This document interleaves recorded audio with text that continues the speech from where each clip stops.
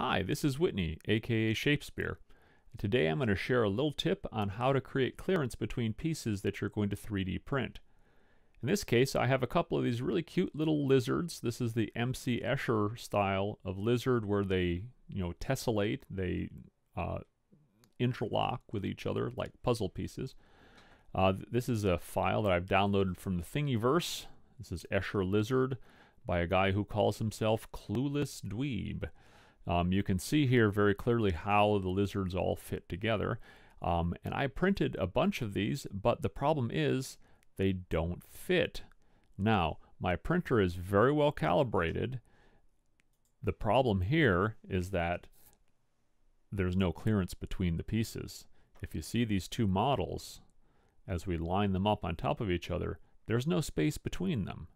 So if your printer is calibrated right, it will print pieces with no space between them.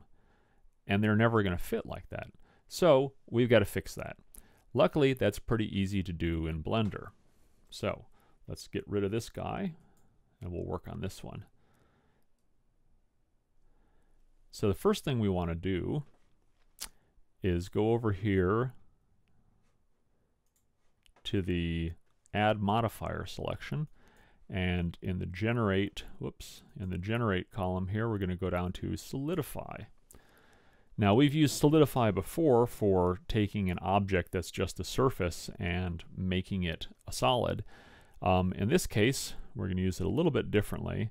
Um, make sure the offset is set to minus 1 and we'll set the thickness just for this example to 1.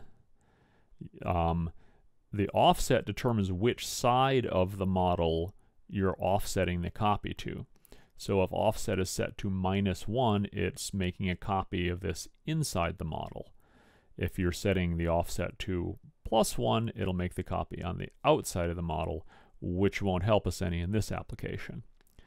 Um, thickness of 1.0 is probably more than you're going to want for a model this size, but that's where you tweak adjust, you know, make your changes to uh, change how it fits. Uh, uh, the bigger the number you add there, the more clearance you're putting in. So if you want it to fit nice and snug, make a smaller number there.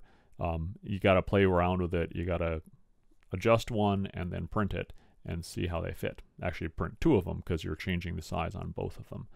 Okay, so we'll apply this. Now, nothing changed in here that we can see but what happened is we actually made a copy of our little guy inside. If we hit Z to go into wireframe mode, you'll notice that there's another copy of it inside here. Another way we can show it is if we go into sketch mode, or sculpt mode rather, uh, we hit H and drag a box around this guy to hide part of it, and then we can zoom in and you can see both layers. So you can see there's a copy of our little lizard guy that's inside him. Okay? So basically that is offset all of the surfaces and it's kind of like if we took a piece of sandpaper and sanded the outside of everything. Okay? Now, uh, we'll just Alt-H so we're seeing everything again and we'll go into edit mode. Now, right now we have all of the vertices selected. We don't want that because we only want to take off the outside copy. So hit A to deselect, hit any vert vertex on there, and Control L to select linked. Okay, and now we can slide them apart, and you'll see we've got two copies one of them is slightly skinnier than the other. It's not really smaller, it's skinnier. Um, you might think, you know, we could solve this problem by just making it smaller and it would fit looser. But the problem is you make it smaller, you're making all the parts of it smaller. And you're making, you know, the male parts smaller and the female parts that you need to interlock are both going to be made smaller uniformly. So this technique allows us to basically skim off the outside of it as if we were taking sandpaper and sanding the outside of it, which doesn't make it smaller. It just makes it skinnier. And I'll show you in a minute the comparison of these of these two. So for now, let's delete this one because that's the copy we don't need. And we're left with our slightly skinnier version, which now has the clearance in it. Now, there's a little bit of a problem with this in terms of 3D printing it. Um, because when Blender made this surface, it was on the inside of the model. Blender assumed that it was the inside of a hollow model. So all of the normals are pointing inward on this right now. And that's not going to slice very well. So we select everything. We go over to the shading and UV menu and we say recalculate normals. Now, you notice that it got lighter when we did that because that's how Blender distinguishes between whether you're looking at the outside of a surface or the inside of a surface. The inside of a surface is slightly darker. Um, so when it gets light like that, we know we're looking at the outside. We have oriented all the normals properly, and now this will slice properly. So we'll go back into object mode, hit Shift D, and we'll move that around, and then we can hit R to rotate, and move it around again until we get it pretty well lined up. And we'll see mm, a little bit more. Just doing this by eye just so we can get it lined up.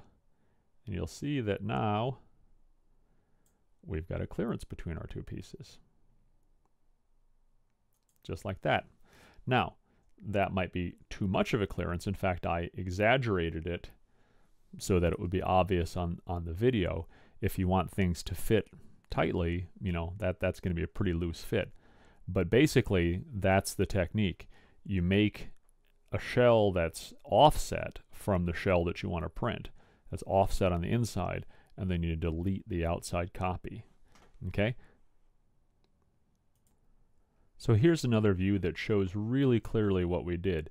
We've got the original in yellow down below, and then we have the new slimmed down version with the clearances added uh, on top.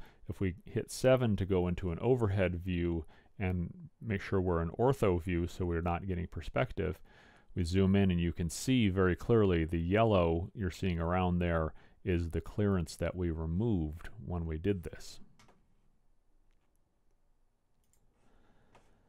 And just to kind of help everybody understand what's going on here, again we have the original lizard on the bottom, the reduced lizard on the top, we line them up exactly. And now we hit S to scale. I'll show you what happens if we just scale the, the lizard down. You see how it scales and it becomes quite differently shaped than our reduced version of it. So you see all that irregularity around the edge. That's the difference between just scaling it down and actually taking a shell off the outside of it and adding clearance to it. Okay? So adding clearance is different than just shrinking the object. Takes a little bit of, uh, of thinking to get your head around this, but hopefully this video um, makes it a little bit clearer. We talked about this on the 3D Printing Today podcast, um, but since we can't show videos on the podcast, it's just an audio feed, I thought I would do this video so that people could get a better sense of what was going on and, and uh, hopefully understand a little better. So keep listening to the podcast. That's 3D Printing Today, uh, available on iTunes and Stitcher Radio, and keep watching the YouTube channel. Thank you.